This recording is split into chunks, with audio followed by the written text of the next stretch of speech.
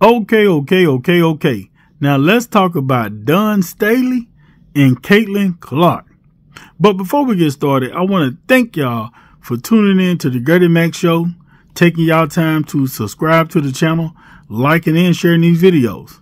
Now let's go. So here we are back on this topic of Caitlin Clark being snubbed for the Olympics USA women's basketball team. Now, the reason we're back on this topic is because of one of the Olympics women's basketball team committee members, Dawn Staley, recent interview, and we're going to get into that. But I think it's safe to say that we all know that Caitlin Clark was overlooked like that sniper on the roof at Donald Trump rally in Pennsylvania when it comes to this Olympics. The Secret Service didn't see him, clearly the USA Women's Olympics Committee didn't see Caitlin Clark. Now, we can all agree that Caitlin Clark is an amazing basketball player she has really been doing her thing under the circumstances that she's dealing with. You know, with Christie Sides, a lot of people feeling like she is not the best coach and that she kind of hinders Caitlin Clark.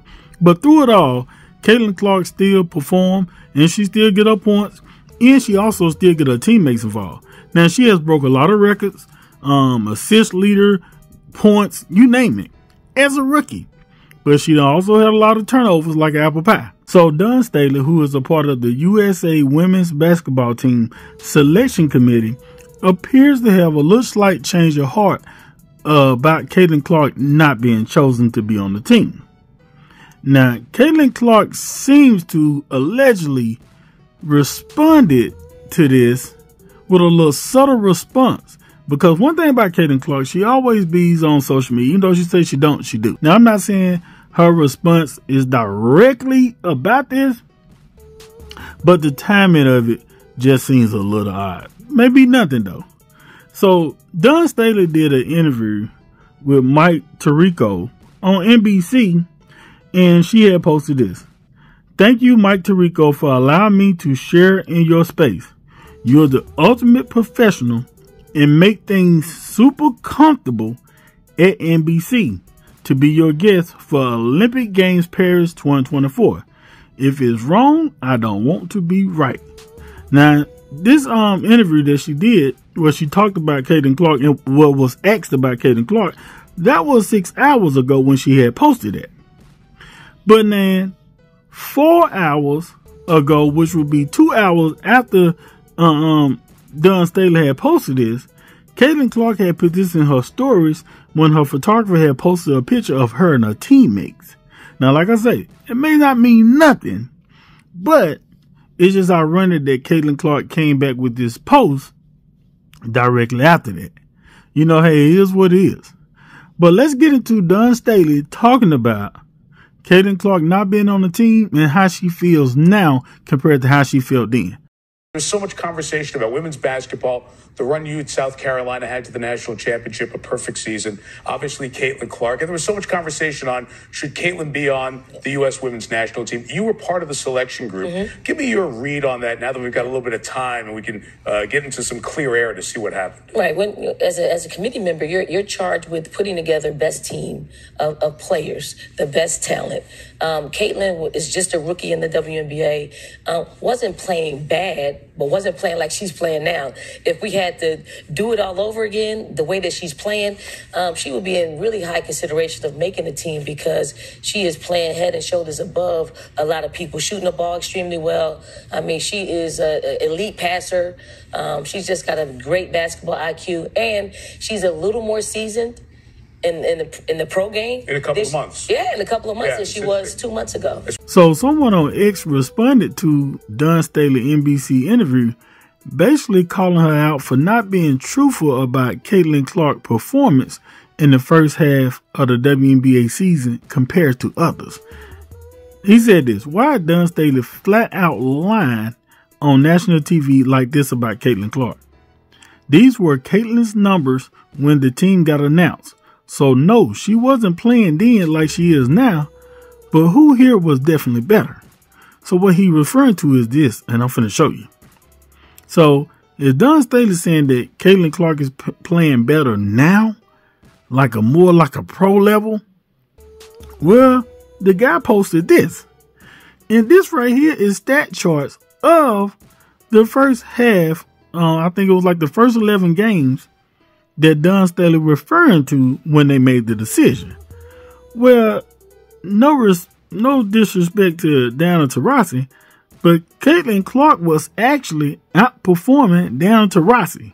Now she was kind of neck and neck with Kelsey Plum. Kelsey Plum was doing pretty good, but uh, um, Caitlin Clark had a better field goal percentage than Diana Taurasi. Um, she had better um blocks, steals, way more assists, all of that, way more than Diana Taurasi. Now Kelsey Plum, she um she was you know outperforming Caitlin Clark a little bit, but Caitlin Clark was right there with her though. So we looking at it, Diana Taurasi is on the team, but Caitlin Clark outperformed her in the first couple of games, eleven games, when y'all made the decision for um who was gonna be on the USA Women's Olympic team. So Caitlin Clark, based upon what Dawn Staley is saying now, Caitlin Clark should have been on that team. Because these numbers right here, what they say the proof is in the pudding. And the pudding is definitely thick. So at the end of the day, it boils down to this. They basically didn't choose Caitlin Clark for various different reasons. Coming in, Caitlin Clark had this big spotlight shining like a 550 watt light bulb. Did some of them feel some type of way about that? Probably did. Would they admit it? Who knows? No. But they probably felt a certain way about that. And so what they didn't want to do, this is just my opinion, is also put her in the spotlight with the Olympics. Because the Chelsea Gray lady, she didn't even play. But she made the Olympic roster. So how do she make the Olympic roster and she didn't even perform or even play at all? So maybe she should have been left off because she didn't even play. And so, I mean, at the end of the day, Caitlin Clark was deserving of a spot on that USA women's basketball team roster if we're going to go by what Dawn Staley is saying now.